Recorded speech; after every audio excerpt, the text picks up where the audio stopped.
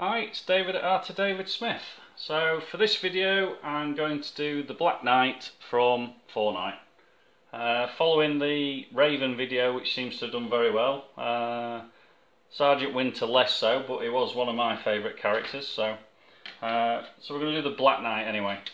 So what I've got is a 6 centimetre circle which is sat 2 centimetres above this very shallow triangle which I've drawn 16 centimetres wide and just nearly 5 centimetres in height. So that's going to be my basic structure of this. So this is going to be the shoulder area and obviously the helmet for the Black Knight is going to sit into this area. These are where the folded arms are essentially going to be. So these are the centre bones through the arms uh, for the pose which the, the knight is stood in. So I'm just going to start putting some extra guidelines in here. So obviously got this central part to the helmet. Now by using these guides and I've taken these the edges of the circle down onto the shoulders as well what this is going to do is help with the placement of all the key features. So obviously as a knight he's got the large helmet there. Just going to put some rough detailing into here. I've looked through on the internet and allegedly the Dark Knight is one of, if not the most popular character. Uh, so that's why I've decided to go with him today. But this is before I'm actually doing a local art challenge with one of the schools in the area uh, during this uh, period where everybody's got to be at home. So trying to keep the kids, the parents busy, uh, active, stopping them being bored at home. Uh, I've set up a little art challenge where they throw in suggestions for what they would like me to draw and then during the course of the week they actually draw their own versions of what we're going to cover in the video. So this week the popular choice was unicorns. So that is what I'm going to be drawing at the weekend. So if I use my set square here, I'm just going to take a line through the centre of this so I get the visor correct. So the visor is going to sit somewhere around this area. Yeah, so the art challenge is just something, an additional extra I suppose on the channel. Uh, just really trying to engage with the kids out there. Obviously I'm aware of it, having my own kids at home at the moment. Uh, they are getting a little bit bored at times so it's just trying to come up with some ideas uh, to keep everybody amused, keep everybody's spirits up. So we'll move into the shoulder area here. So using that triangle this is going to give us the slopes of the shoulder blades. Come down to the edges of the triangle into the ball of the shoulder.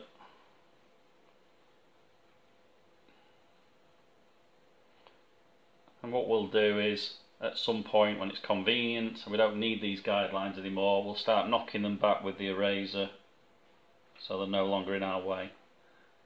And what I'll do is, as I clean the image up, I'll get rid of all those elements.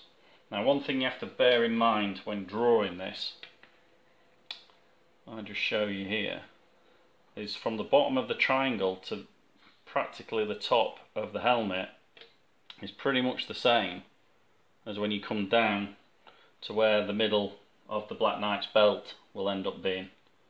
So try not to uh, what I'm trying to say is make sure this distance here is as long as this because otherwise it's going to look out of proportion. And that's why when I'm doing a lot of the drawings I put in so many guides. Because at this stage where everything's nice and light it can be easily altered and the dimensions changed if you've already committed heavy lines and things like that and then you start to notice that the top sections too squashed down it's too late then to uh, really make those kind of alterations. So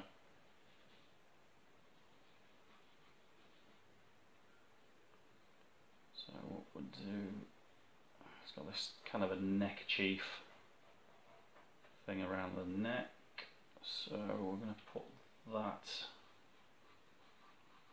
the starting of that in there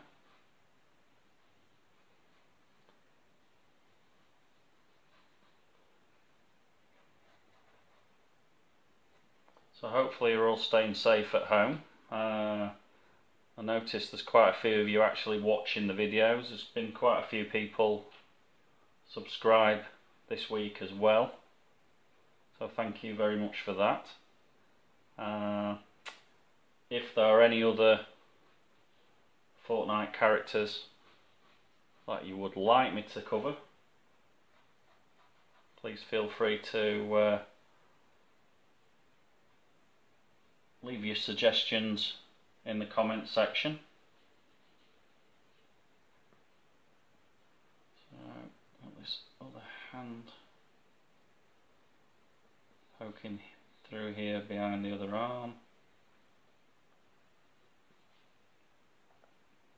And what I'll do with a lot of the detail like the chainmail and things like that, obviously I can, once I've got this roughed in what I'm putting, the, the drawing and everything else. Once I've got all these guidelines in, I'll take a bit of time off camera, put the chainmail and things like that in there. It's tends to be a little monotonous, so you don't need to see me really doing that on camera unless you've got a particular uh, fondness to watch me do it in a subsequent video. Throwing these guides in here. So we've got this kind of neckerchief thing going on. We're then going to drop down to the other guideline what I've got here and this is roughly to where his belt would be. So his waistline. Now one of the things I have been preparing uh, which is a lesson which is going to be coming soon will be figure drawing. So a lot of the elements what you see in here you're going to see in the figure drawing videos as well. Uh, what I'm trying to condense down and normally I would do this in a classroom with a class of students is to uh, run through how to do the figure drawing, it's, it's easier to show people in question, uh, in, in, sorry, in the flesh, because uh, you're able to move around the class and see how everybody's going. So, so trying to make that into bite-sized pieces because it is a lot of information to take on. But when you start doing characters like this, all those little things that I'll teach you during that video or may end up being a series of videos will help you uh, when you start forming figures, when you're drawing real life figures and things like that. So that's what I've been kind of working on in the background. So Black Knight has got his like a utility belt. He's got pouches for keeping, I guess, spare ammo and things like that. So to put those onto there.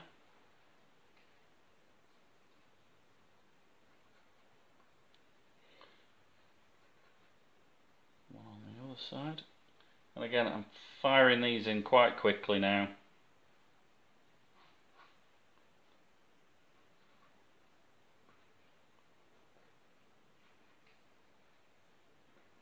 And all this lot can be sharpened up quite easily.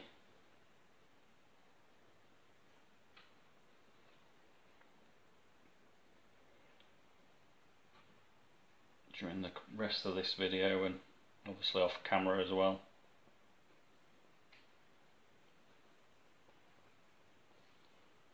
So if you can hear any sounds behind me that's because my son has decided to sit in here and watch me making a fool of myself on this video.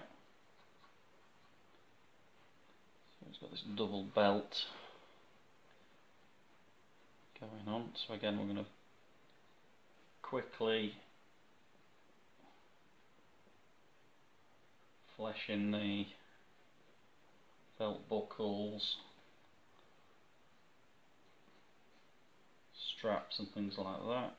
It's got quite a distinctive belt as well. So I'm going to put that in.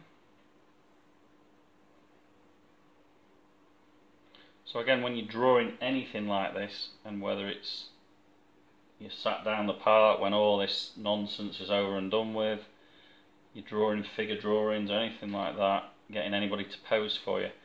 Proportion is everything. You've got to get them proportions correct.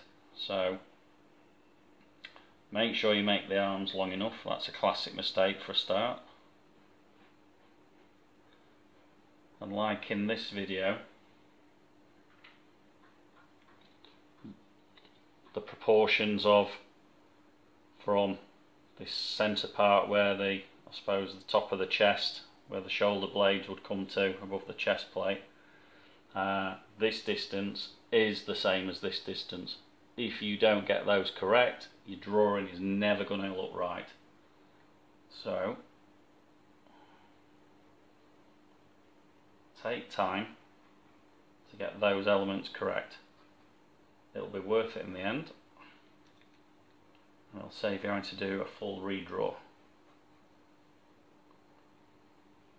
But as I've said before, if you said got this top element correct, the bottom's not quite right, take a line drawing off of this on your light box or against a window and redraw in the bottom section what you're not happy with.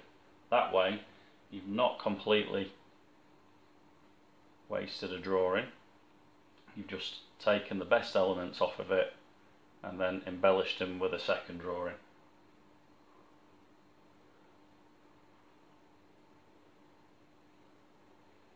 Also it's a good way that as well of uh, if you're wanting to try different elements, say if this was a character you were drawing for a job or something like that gives you a different way. If you're happy with the top section trying different sections on the bottom different features things like that without having to draw an entire new picture every single time.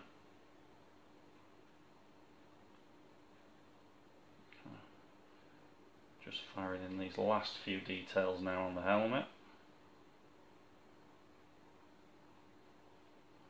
and again you can embellish these as much as you want.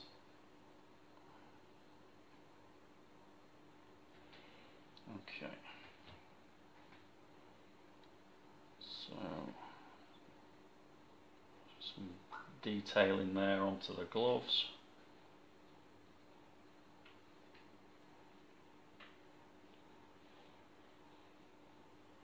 As you can see with those guides that we've put into there simple shapes again and most of these characters that I am drawing at the moment when you look at them look for the shapes in the character. So for this guy he's obviously got this very pronounced triangle with the shoulders and then the the circle of the helmet coming down uh, I suppose into the kind of the cylinder into the top of the triangle so by using those very simple elements it gives you the structure to the drawing before you've even really put any serious lines down there. So it's a really good trick. Plus it also taking this forward you can use these very simple shapes to come up with new characters. We did it with the Scooby-Doo where we had the bizarre shaped triangle which kind of was indicative of his of his head shape um, but often when I'm coming up with new characters I'll start with very simple circles and uh, ellipses and things like that to come up with new characters, formulate new characters. Uh, so again, play with that, experiment with it. These are all really good tips for coming up with your own characters. Okay.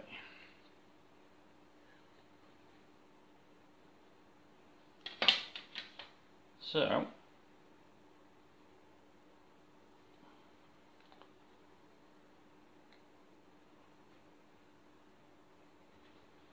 what I'm going to do now is just start fleshing out some of the details. You probably hear my cat meowing in the background because she wants to come in now. Obviously uh, wants to be party to the video. And she's just going to have to wait a moment. Start thickening out some of these edge lines. So around the bottom of the helmet, it's quite a deep shadow into this area.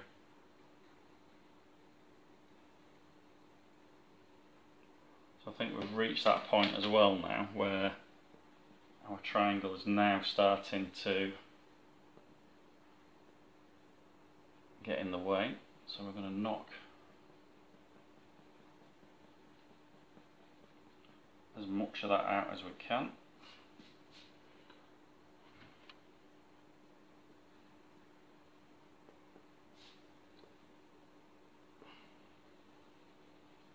As well as the lines on the arms.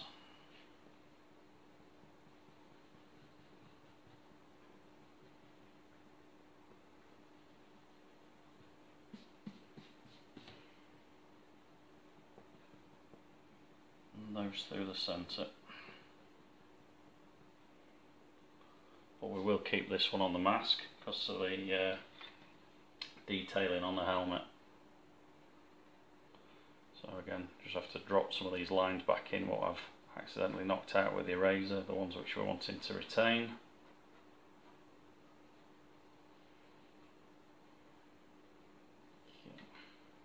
So yeah, as I was saying, it's quite a deep shadow in this area underneath the helmet.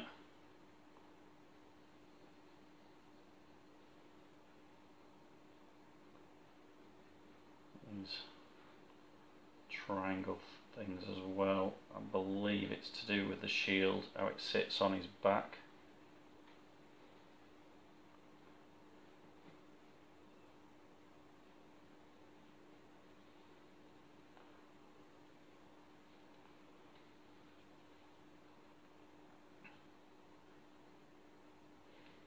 What I'll do is I'm just going to black the visor out for the moment then when I scan it in I'll just put the eyes back into this area and put the glow on there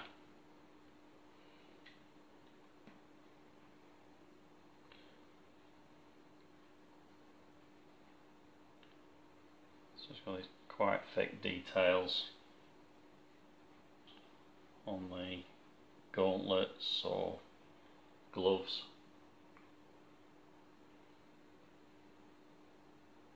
And detailing around here, obviously underneath his arms, onto his breastplate, bottom of the gloves.